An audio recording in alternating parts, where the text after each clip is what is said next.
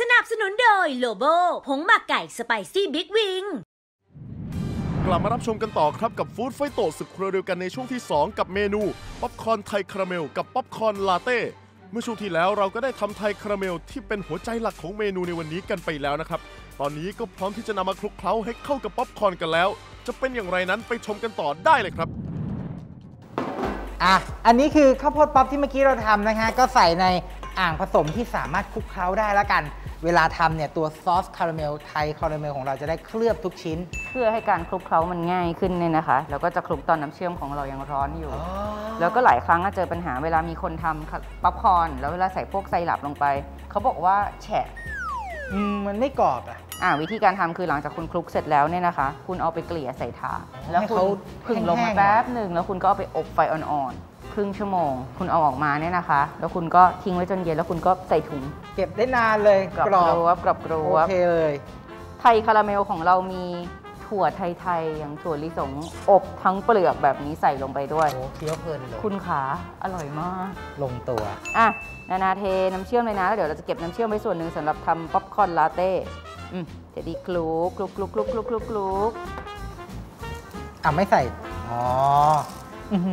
มันค่อยๆเซนะ ขนาดแค่ว่าเทไทยคาราเมลลงไปคลุกเคล้าก็มีความหอมน่าทานแล้วล่ะครับ เนี่ยคุณดูเนาะคาราเมลที่เคลือบป๊อปคอร์นเยอะขนาดเนี้ยถอดหน้ากากมาชิมไหมคือมันมันดูไม่งามหรือเปล่า เอาเร็วเร็วเร็วไม่เอาไม่เอาไม่เอาใส่ถุงกลับบ้านนะ โอ้ใจเย็นก่อนนะครับ คุณเท็ดดี้ เดี๋ยวเราจะเทใส่ถาดนะคะ เกลี่ยไว้ เนี่ยแบบเนี้ยแล้วไปอบแป๊บเดียว เนี่ยคุณดูสิ ฉ่ำวาวมาก เราจะเกลี่ยแบบนี้แล้วไปอบเพื่อให้เขากรอบยิ่งขึ้นน่ะ ใช่ ที่นี่สาธิตการกินเลยไหม จริง ๆ คือตอนนี้ก็กินได้แล้ว ใช่กินได้แล้ว แต่คือต้องกินให้หมดตอนนี้เลย เพราะถ้าเก็บไว้ก็อาจจะไม่กรอบนะฮะ นี่คุณดูความเป็นคาราเมลนะมันยืดขึ้นมาอย่างเงี้ย เนี่ยไปอบยังไงบ้างครับ นี่เหมือนคุณเล่นเลยไฟอ่อนๆนี่เราเกลี่ยลงไปให้มันเท่ากันไฟอ่อนๆเท่านั้นเองค่ะ แล้วก็เอาออกมาทิ้งไว้จนเย็นอีกรอบหนึ่งเหมือนเราไล่ความชื้นเพิ่มอะโอเคครับ ช่วงหน้านะครับ กับขั้นตอนของการทำเครื่องดื่มเย็นๆ ชื่นใจอย่างป๊อปคอร์นลาเต้จะมีความน่าทานแค่ไหนช่วงหน้านะครับลำบากใจเลยครับเนี่ยตอนกินนี่ไม่รู้จะเริ่มจากตรงไหนเลยอะใช่เลยอยากให้รู้สึกอย่างนั้นนะแล้วเราก็จะวางช้อนไว้ให้หนึ่งคันว่าแบบเป็นเครื่องดื่มที่ห้ามดื่ม เครื่องดื่มที่ให้คุณกินท็อปปิ้งให้หมดก่อน ข้างบนคุณจะรู้สึกว่าเออหวานนะ เข้มข้นนะ แต่พอถึงเวลาแล้วจริงๆอะข้างล่างมันจะเป็นกาแฟเข้มๆอยู่ข้างล่างโอ้โหอะน่ากินมาก วันนี้เรามีเมนูข้าวปลาแซลมอนซอสมะขาม จากน้ำมะขามเปียกเข้มข้นตราเนเจอร์เทส มาฝากค่ะ วิธีทำซอสมะขาม เทน้ำลงในภาชนะนำขึ้นตั้งไฟ เติมน้ำมะขามเปียกเข้มข้นตราเนเจอร์เทส น้ำตาลปี๊บและน้ำปลา เคี่ยวจนส่วนผสมข้น ปิดไฟเตรียมไว้ค่ะ วิธีทำข้าวปลาแซลมอนซอสมะขามนำเนื้อปลาแซลมอนลงย่างบนภาชนะจนสุกแล้วตักขึ้น แบ่งเนื้อปลาแซลมอนมา 1 ชิ้น ใส่ลงในภาชนะ จากนั้นยีเนื้อปลาพอแตก เตรียมไว้ ใส่ข้าวหอมมะลิหุงสุกลงในภาชนะ ตามด้วยเนื้อปลาแซลมอนที่ยีเตรียมไว้ หอมแดงเจียว และพริกขี้หนูแห้งทอดหั่นแฉลบ ปรุงรสด้วยซีอิ๊วขาว มายองเนส และซอสมะขามที่เตรียมไว้ คลุกเคล้าให้เข้ากัน ตักข้าวปลาแซลมอนซอสมะขามใส่ภาชนะ ตามด้วยเนื้อปลาแซลมอนย่างเมล็ดถั่วแระญี่ปุ่นต้มสุก หอมเจียว พริกขี้หนูแห้งทอดหั่นแฉลบ ช่อผักชี สาหร่ายหั่นฝอย และสาหร่ายแผ่น พร้อมเสิร์ฟค่ะ ครั้งหน้าน้ำมะขามเปียกเข้มข้นตราเนเจอร์เทส จะมีเมนูใดมาฝากคุณผู้ชมก็ต้องรอติดตามกันนะคะ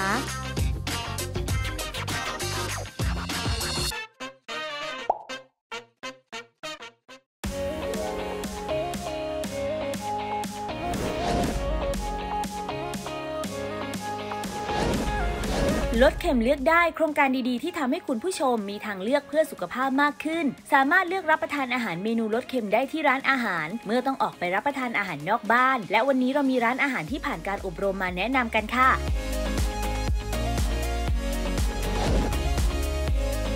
นั่นก็คือร้านทวีชัยโภชนา สามารถติดตามรายละเอียดเพิ่มเติมได้ที่ Facebook ทวีชัยโภชนา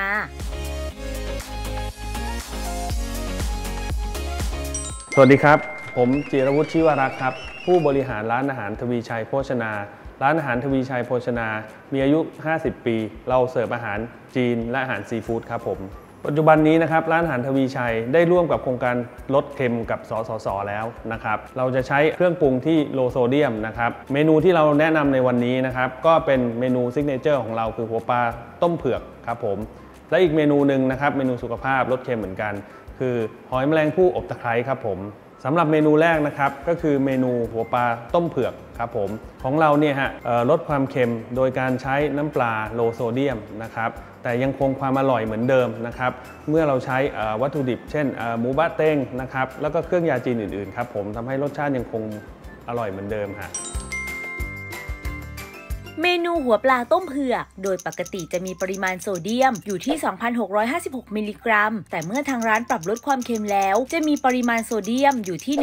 1,649 มิลลิกรัม ปริมาณโซเดียมลดลง 38เปอร์เซ็นต์สำหรับเมนูที่2นะครับคือเมนูหอยแมลงภู่อบตะไคร้นะครับเมนูนี้เช่นเดียวกัน เราก็ใช้เครื่องปรุงที่โลโซเดียมนะครับ แล้วประกอบกับเพิ่มจำนวนตะไคร้ใบมะกรูดเข้าไปนะครับทำให้รสชาติยังคงอร่อยเหมือนเดิมสำหรับน้ำจิ้มนะครับให้ทานกับน้ำจิ้มซีฟู้ดนะครับซึ่งเราเนี่ยก็ใช้เเกลือโลโซเดียมเหมือนกันนะครับประกอบกับเราใช้พริกขี้หนูสดพริกขี้หนูเขียวนะครับทำให้รสชาติจัดจ้านและอร่อยเหมือนเดิมครับ เมนูหอยแมลงภู่อบตะไคร้โดยปกติจะมีปริมาณโซเดียมอยู่ที่ 3,200 มิลลิกรัม แต่เมื่อทางร้านปรับลดความเค็มแล้วจะมีปริมาณโซเดียมอยู่ที่ 1,762 มิลลิกรัม ปริมาณโซเดียมลดลง 45เปอร์เซ็นต์ ใน 1 วันเราควรรับประทานโซเดียมไม่เกิน 2,000 มิลลิกรัมต่อวัน หรือเท่ากับเกลือ 1 ช้อนชา หรือน้ำปลา 3 ช้อนชา รู้อย่างนี้แล้วอย่าลืมลดเค็มเพื่อสุขภาพที่ดีของเรานะคะ เพราะการบริโภคโซเดียมมากเกินไป อาจเสี่ยงโรคได้ค่ะการบริโภคโซเดียมที่มากเกินกว่าความจำเป็นของร่างกายนะคะ ก็จะนำไปสู่การเกิดโรคไม่ติดต่อเรื้อรังนะคะ เช่นโรคความดันโลหิตสูงโรคหลอดเลือดหัวใจ โดยปัจจุบันนี้คนไทยเนี่ยบริโภคโซเดียมในปริมาณที่มากเกินกว่าความจำเป็นถึง 2 เท่านะคะ หรืออยู่ที่ประมาณ 4,000 มิลลิกรัมนะคะดังนั้นเนี่ยก็อยากจะรณรงค์นะคะ ให้ทุกคนเนี่ยลดการบริโภคโซเดียมลงนะคะ เพื่อที่จะลดอัตราการเกิดโรคไม่ติดต่อเรื้อรังเหล่านี้นะคะ